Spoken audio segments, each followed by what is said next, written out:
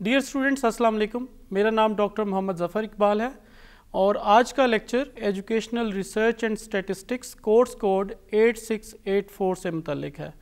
आज के लेक्चर में हम unit number seven sampling techniques को कवर करेंगे। Dear students unit number seven से ये हमारा दूसरा प्रोग्राम है। प्रीवियस प्रोग्राम का हम रिकैप कर लेते हैं। प्रीवियस प्रोग्राम में हमने पॉपुलेशन uh, और सैंपल का कॉन्सेप्ट क्लियर किया था विद एग्जांपल्स और इसके अलावा हमने सैम्पलिंग का कॉन्सेप्ट क्लियर किया और प्रोबेबिलिटी सैम्पलिंग की जो टेक्निक्स हैं उनको हमने लर्न किया। पॉपुलेशन uh, और सैंपल का कॉन्सेप्ट हमने इस तरह क्लियर किया कि पॉपुलेशन एक बड़ा ग्रुप होता है uh, जिसके ऊपर रिसर्चर अपने रिजल्ट्स स्टडी के रिजल्ट्स को जर्नलाइज करना चाहता है। और सैंपल जो है वो पार्ट ऑफ़ पॉपुलेशन होता है या पोर्शन ऑफ़ पॉपुलेशन होता है जिससे हम डेटा कलेक्ट करते हैं जिसका डेटा एनालिसिस करते हैं और जो रिजल्ट्स आते हैं उनको हम जर्नलाइज करते हैं पॉपुलेशन जो बड़ा लार्ज ग्रुप है उसके ऊपर। इसी तरह सैम्पलिंग जो है, वो एक वे है to select an appropriate representative sample for your study यानी कोई प्रोसेस अडॉप्ट करके, कोई स्टेप्स अडॉप्ट करके आप सैंपल सेलेक्ट कर लेते हैं from the population that is called sampling probability samplings probability sampling techniques जो हैं, उनको हम रैंडम सैम्पलिंग टेक्निक्स भी कहते हैं। और इसमें हमने बात की थी कि simple random sampling stratified random sampling cluster random sampling systematic random sampling और multi stage random sampling techniques हैं जो कि जिसमें हम रैंडम सैंपल जो है वो पॉपुलेशन से सिलेक्ट करते हैं। तो आज का लेक्चर जो है वो फोकस हम करेंगे इस चीज़ पे कि नॉन प्रोबेबिलिटी सैम्पलिंग टेक्निक्स क्या हैं और इसके अलावा रैंडम सिलेक्शन और रैंडम असाइनमेंट में क्या फ़र्क है। और इसी तरह सैंपल साइज़ को कैसे एस्टिमेट किया जा सकता है फॉर पर्टिकुलर रिसर्च तो सबसे पहले बात करते हैं जी नॉन प्रोबेबिलिटी सैम्पलिंग टेक्निक्स की। uh, जैसे कि हमने प्रीवियस लेक्चर में देखा प्रोबेबिलिटी सैम्पलिंग टेक्निक्स में हर इंडिविजुअल के पास जो पॉपुलेशन में मौजूद है सैंपल की सिलेक्शन के लिए उसके पास इक्वल चांस होता है। ठीक है? और नॉन प्रोबेबिलिटी सैम्पलिंग टेक्निक्स में तमाम इंडिविजुअल्स जो पॉपुलेशन में मौजूद हैं, उनके पास इक्वल चांस नहीं होता कि वो सैंपल के लिए सिलेक्ट कर लिए जाएँ, ठीक है? अब हम टेक्निक्स की बात करते हैं कि कौन कौन सी नॉन प्रोबेबिलिटी सैम्पलिंग टेक्निक्स हैं जिनके थ्रू हम सैंपल सेलेक्ट कर सकते हैं। अब सबसे पहले है कन्वीनियंस सैम्पलिंग कन्वीनियंस सैम्पलिंग का कॉन्सेप्ट ये है कि it involve selecting individuals who are easily accessible or available to participate in the study. Method is often used for its convenience and low cost.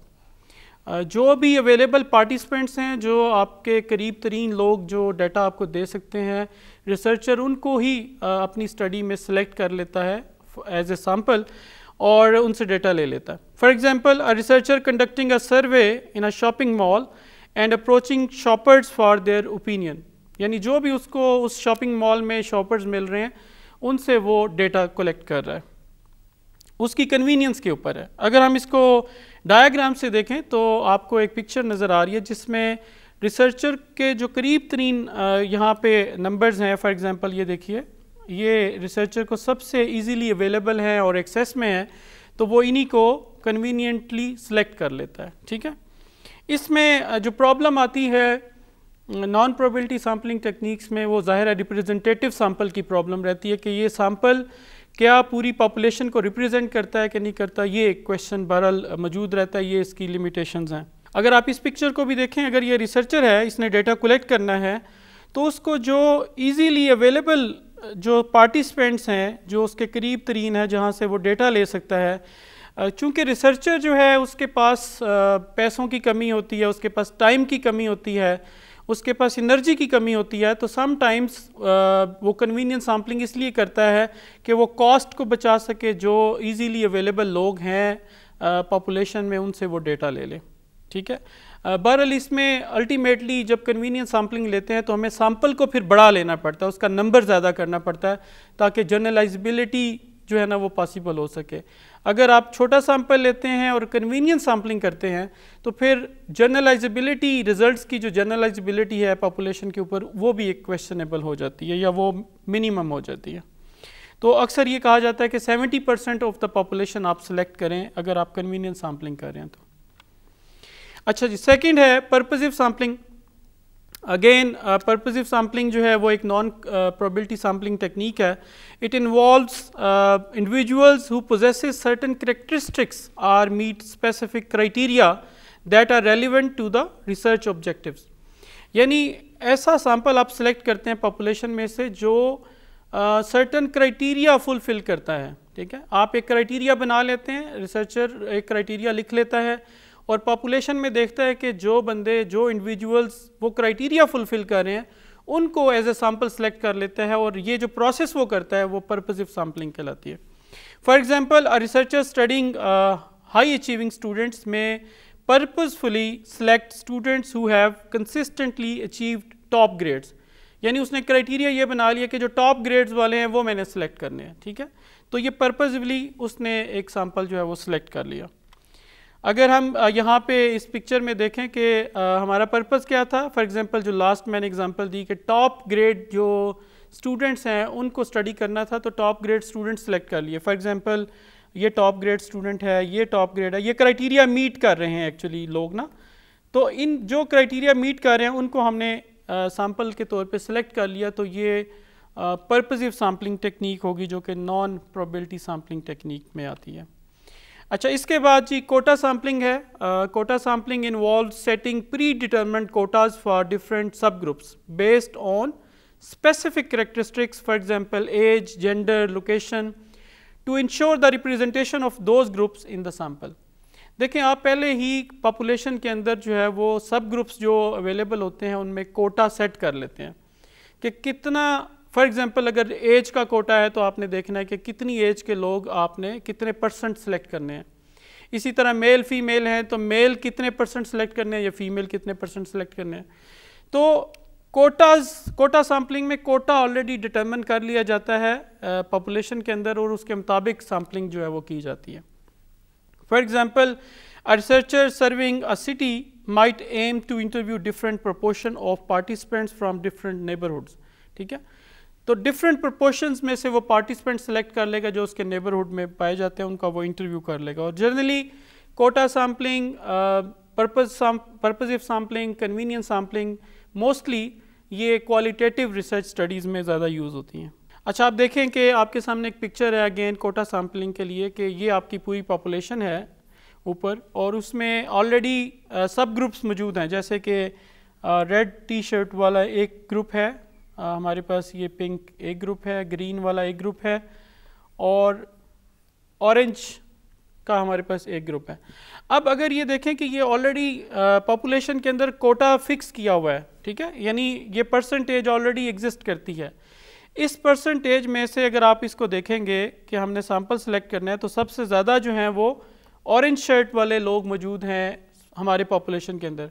तो जो कोटा है वो ऑरेंज वालों का सैंपल के अंदर भी ज़्यादा होगा। सपोज़ हम ये कर लेते हैं कि ये forty percent of the population है तो हमारे पास सैंपल में भी ये फोर्टी परसेंट रिप्रजेंट करेंगे। ठीक है? इसी तरह ये सबसे लोएस्ट कोटा है हमारे पास, ये maybe ten percent of the population है तो ये हमारे पास यहाँ पे भी सैंपल में भी टेन परसेंट ही सिलेक्ट हो रहा है। ठीक है? तो कोटा सैम्पलिंग ये है कि आप पॉपुलेशन के अंदर कोटा बना लेते हैं और उस कोटे के मुताबिक जो प्रोपोर्शनेट ऑलरेडी एक प्रपोर्शन मौजूद होता है पॉपुलेशन में, उसी के अकॉर्डिंगली आप सैम्पलिंग भी कर लेते हैं। अच्छा जी स्नोबॉल सैम्पलिंग है next it start with an initial set of participants often refer to as seeds who are आज to refer to other potential participants this method is useful when the population of interest is hard to reach snowball sampling जैसे आपने देखा होगा कि snow जो है, जब ऊपर से लुढ़कता हुआ गोला आता है, पहाड़ से लुढ़कता हुआ तो वो बड़ा होता जाता है, क्योंकि उसके साथ स्नो जो है, बर्फ़ जमती जाती है अटैच होती जाती है और वो बड़ा होता जाता है। इसी तरह जब रिसर्च के अंदर अगर आपकी पॉपुलेशन आइडेंटिफाई ना हो, सामने मौजूद ना हो तो आप किसी एक या दो पार्टिसिपेंट्स का अगर आपको पता हो, आप उनके पास जाते हैं, उनसे इंफॉर्मेशन लेते हैं डाटा लेते हैं और उनसे ये पूछते हैं कि इस पर्टिकुलर इन्फॉर्मेशन को और कौन से लोग हैं जो दे सकते हैं। तो आप उन लोगों के पास फिर जाते हैं और इस तरह ये एक चेन बनती जाती है और इन्फॉर्मेशन या डाटा कलेक्ट आपके पास होता जाता है। For example researcher studying a rare medical condition start with a few known cases and ask them to refer other individuals with those conditions medical uh, conditions को आपने देखना था स्टडी uh, करना था आपको कुछ केसेस का पता था आप उनके पास जाके डेटा ले लेते हैं। फिर उनसे पूछते हैं कि आपको कुछ और ऐसे केसेस का पता है जो सेम मेडिकल कंडीशंस के साथ हों तो वो जिनको रिफ़र करते हैं फिर आप उनसे जाके डेटा लेते हैं और इस तरह सो ऑन चलता रहता है। अगर आप डायग्राम देखें तो यहाँ से आप स्टार्ट हुए ठीक है? आपके पास इनिशियली कोई एक जो है पार्टिसिपेंट मौजूद था डेटा देने के लिए उससे आपने पूछा तो उसने रिफ़र किया, जी फ़लाम बंदा भी जो है वो पार्टिसिपेंट है, वो भी आपको ये डाटा दे सकता है। इसी तरह उसने नेक्स्ट को रिफ़र किया नेक्स्ट ने नेक्स्ट को रिफ़र किया। तो हमारे पास एक सैंपल जो है वो इकट्ठा हो जाएगा स्नो बॉल सैम्पलिंग इसको इसलिए कहते हैं क्योंकि एक बंदे ने दूसरे को रिफ़र करना है, दूसरे ने तीसरे को तो इस तरह ये स्नो बॉल सैम्पलिंग में आएगा। आइए डियर स्टूडेंट्स नेक्स्ट हम अब देखते हैं कि रैंडम सिलेक्शन और रैंडम असाइनमेंट में क्या फ़र्क है। ये दो ऐसे कॉन्सेप्ट हैं जो सैम्पलिंग करते हुए हम कंफ्यूज करते हैं और इनको मिस इंटरप्रेट करते हैं। ये आपके सामने एक टेबल नज़र आ रहा है। इसमें अगर आप देखें कि रैंडम सिलेक्शन जो है it involves randomly choosing a sample from a population ठीक है? ये प्रॉबिलिटी सैम्पलिंग के थ्रू एक सैंपल सेलेक्ट करना, इसको रैंडम सिलेक्शन कहते हैं। जबकि रैंडम असाइनमेंट का मतलब है कि it involves randomly assigning participants to experimental and control groups random assignment की जो टर्म है ये एक्सपेरिमेंटल डिज़ाइंस के लिए यूज़ की जाती है ये याद रखिएगा। और इसमें जब हम कंट्रोल और एक्सपेरिमेंटल ग्रुप्स में रैंडमली ग्रुप्स में इंडिविजुअल्स uh, असाइन जब करते हैं तो उस वक्त हम कहते हैं ये रैंडमली असाइन हुआ है। सिलेक्शन और चीज़ है और असाइनमेंट और चीज़ है।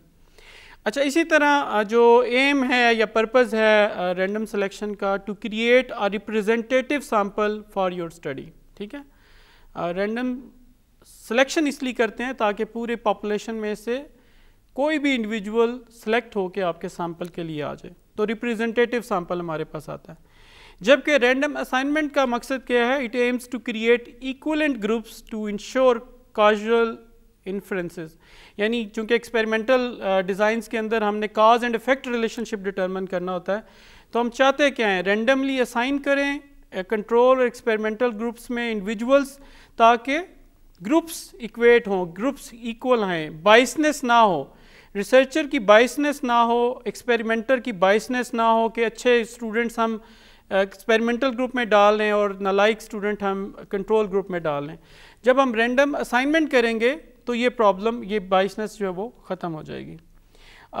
स्टेजेस uh, क्या हैं रिसर्च में? रैंडम सिलेक्शन के लिए primarily occurs during the sampling phase sampling जब हम कर रहे होते हैं तो हम रैंडम सिलेक्शन करते हैं।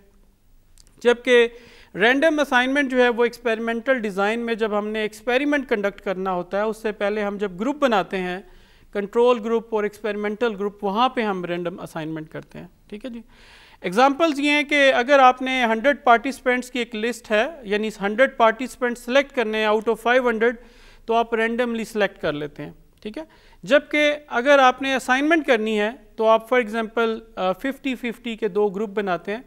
टोटल 100 लोग हैं, उनको 50 लोगों को हमने इंडिविजुअल्स को कंट्रोल ग्रुप में रखना है और 50 को हमने एक्सपेरिमेंटल ग्रुप में रखना है तो हम उनको रेंडमली सेलेक्ट करके असाइन कर देंगे।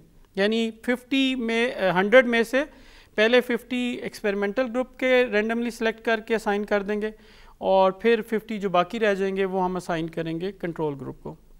अच्छा जी control over the variables random selection का कंट्रोल लिमिटेड है ओवर एक्सट्रेनियस वेरिएबल्स जबकि एक्सपेरिमेंटल स्टडीज़ के लिए जो है वो random assignment helps to control the extraneous variables ठीक है? इससे जब हम रैंडम असाइनमेंट करते हैं तो उससे एक्सपेरिमेंट की इंटरनल वैलिडिटी भी इन्हेंस होती है।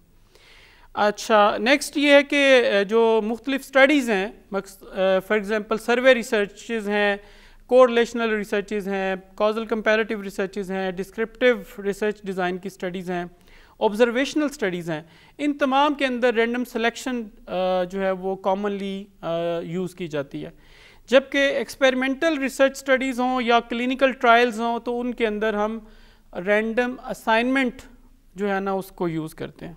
नेक्स्ट जो है डियर स्टूडेंट्स मैं बात करूँगा सैंपल साइज़ की एस्टिमेशन की which is very important very very important जब हम रिसर्च कंडक्ट कर लेते हैं या कर रहे होते हैं, अक्सर वाइवाज में मैंने सुना तो सवाल ये होते हैं कि जी सैंपल साइज़ आपने कैसे डिटर्मन किया? ठीक है? पॉपुलेशन आपकी इतनी थी तो उसमें से आपने इतना ही सैंपल क्यों लिया?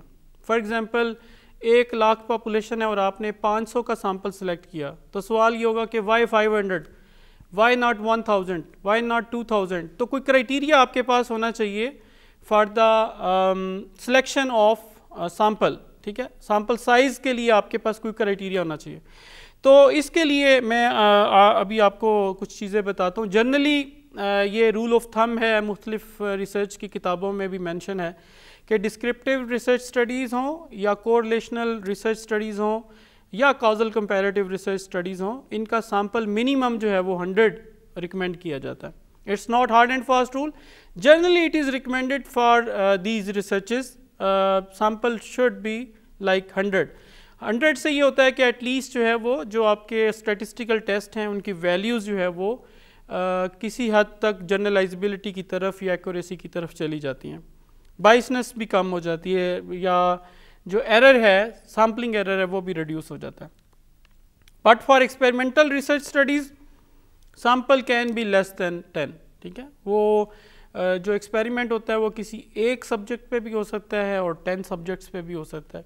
तो एक्सपेरिमेंटल स्टडीज़ के लिए रिस्ट्रिक्शन नहीं है, शर्त नहीं है कि लाजमी जो है वो सैंपल साइज़ जो है वो लार्ज होना चाहिए या हंड्रेड होना चाहिए। सर्वे रिसर्च स्टडीज़ में डेफिनेटली सैंपल साइज़ लार्ज होना चाहिए, ठीक है? जितना सैंपल साइज़ बढ़ेगा ना जी, उतना ही पॉपुलेशन के वो करीब होता चला जाएगा।